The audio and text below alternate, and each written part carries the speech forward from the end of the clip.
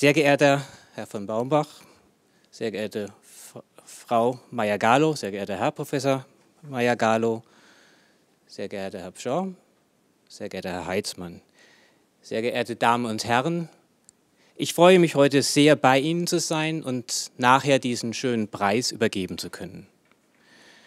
Der Meyer-Galow-Preis für Wirtschaftschemie wird von der Meyer-Galow-Stiftung für Wirtschaftschemie verliehen und das bereits zum sechsten Mal. Die Stiftung wurde im Jahr 2012, 2012 bei der GDCH eingerichtet.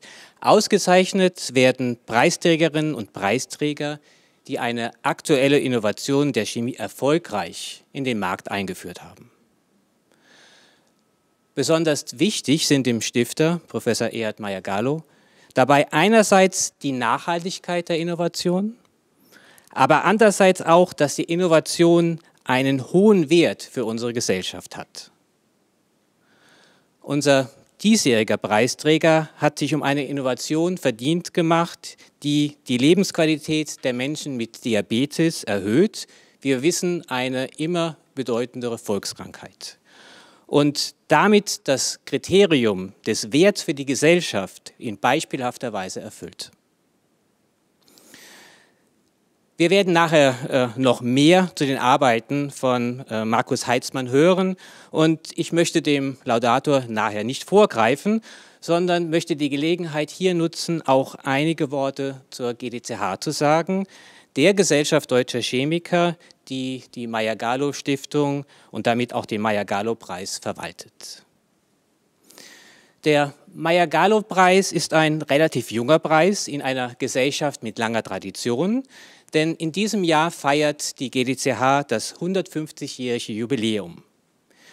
Sie ist die ältere von zwei Vorläufergesellschaften, der Deutschen Chemischen Gesellschaft, die 1867 in Berlin von August Wilhelm von Hoffmann als ersten Präsidenten gegründet wurde.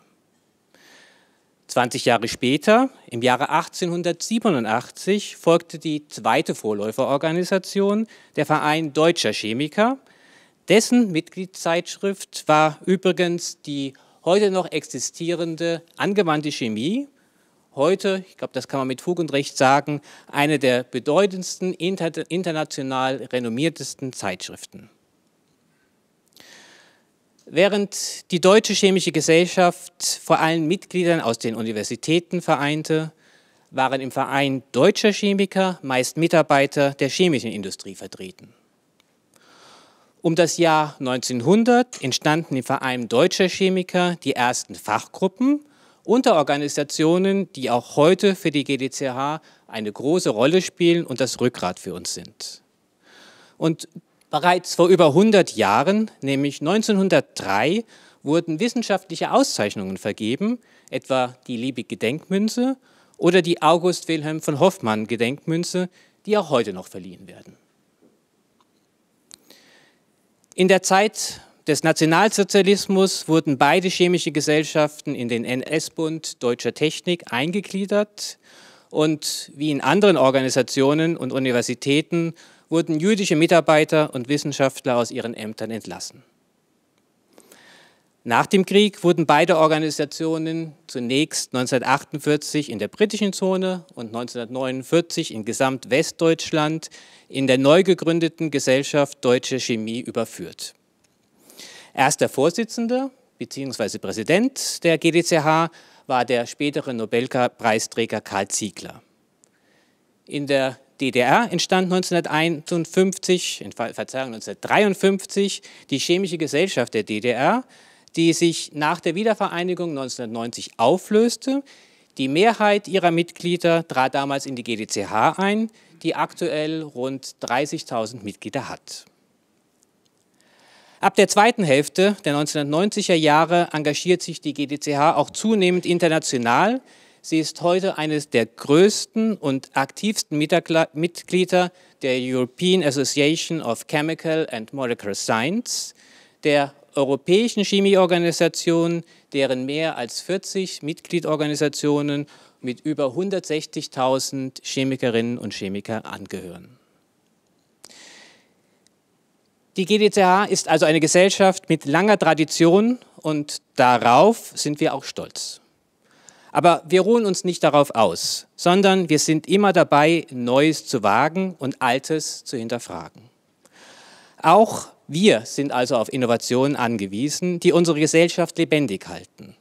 Und wir blicken kritisch zurück. Beispielsweise erschien im Jahr 2015 eine Studie Chemiker im Dritten Reich, die der Wissenschaftshistoriker Helmut Meyer im Auftrag der GDCH verfasst hat. Wir sehen uns heute als eine Verantwortungs- und Wertegemeinschaft in der Chemie. Alle Mitglieder bekennen sich zum Verhaltenskodex der, GDC, der GDCH. Darin verpflichten wir uns für Freiheit, Toleranz und Wahrhaftigkeit in der Wissenschaft einzutreten. Insbesondere das Ansehen der Chemie sowie chemisches Wissen und Können zu wahren und zu mehren ist von großer Bedeutung. Wir sind uns bewusst, dass wir Naturwissenschaftler in besonderem Maße Verantwortung haben für die Auswirkungen unseres Tuns. Wir handeln im Bewusstsein unserer Verantwortung gegenüber künftigen Generationen und stellen uns gegen den Missbrauch der Chemie, zum Beispiel in der Herstellung von Chemiewaffen und Suchtmitteln. Bei der Erarbeitung, Anwendung und Verbreitung von chemischem Wissen sind wir der Wahrheit verpflichtet und bedienen uns keiner unlauterer Methoden. Was kann die Chemie für unser Leben leisten? Welche Verantwortung tragen wir Chemikerinnen und Chemiker für unsere Zukunft? Was müssen wir tun und was dürfen wir nicht tun, damit es zukünftigen Generationen nicht schlechter geht als uns? Das sind die Fragen, denen wir Chemiker uns immer wieder stellen müssen. Und zwar nicht nur die GDCH als Verein, sondern auch jeder einzelne von uns, egal ob Mitglied der GDCH, egal ob in der Industrie, an der Hochschule oder im öffentlichen Dienst. Dabei legen wir als GDCH Wert darauf, nicht nur unter uns Chemikern zu diskutieren, sondern offen zu sein für Gespräche mit Persönlichkeiten aus Politik, Wirtschaft und, und äh, vor allen den, den, ähm, vor allen den ähm, den Medien. Die Medien sind uns äh, ein, ein, wichtiges, ein wichtiger Diskussionspartner. Intensiv haben wir das etwa vor zwei Wochen, zwei Monaten getan bei unserem Jubiläumskongress in Berlin, dem Wissenschaftsforum Chemie. Dort haben wir verschiedene Formate angeboten von Gesprächsrunden, in denen Schüler mit Nobelpreisträgern diskutiert haben, dem Chemistry Slam für Jugendliche bis zu dem Symposium Wertedenken in der Chemie und dem Innovationsmarathon Chemiewende, in dem verschiedene Teams eine ganze Nacht 24 Stunden Projektideen diskutiert haben. Auch Innovation, und hier komme ich zurück auf den Anlass dieser Feierstunde, müssen natürlich kritisch hinterfragt werden. Ihre Folgen für den Einzelnen und die Gesellschaft müssen sorgfältig abgewogen werden. Um Innovationen, die der Gesellschaft Nutzen bringen, voranzutreiben, brauchen wir verschiedene Talente, sowohl die Spezialisten als auch die Generalisten. Wir brauchen interdisziplinäre, internationale und interkulturelle Kooperationen. Denn es gibt meistens dann ein gutes Ergebnis, wenn Menschen mit ihren unterschiedlichen Kenntnissen, Talenten und Schwerpunkten sich zusammentun und ein Projekt von den verschiedensten Seiten bearbeiten. Die GDCH verwaltet nicht nur die Maya-Gallo-Stiftung, die den heutigen Preis vergibt, sondern hat auch rund 30.000 Expertinnen und Experten, die mit ihrem Wissen und ihrer, ihrer Expertise zur Lösung der globalen Projekte beitragen können und wollen.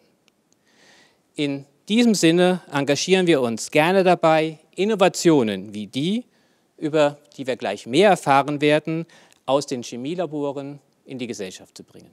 Herzlichen Dank.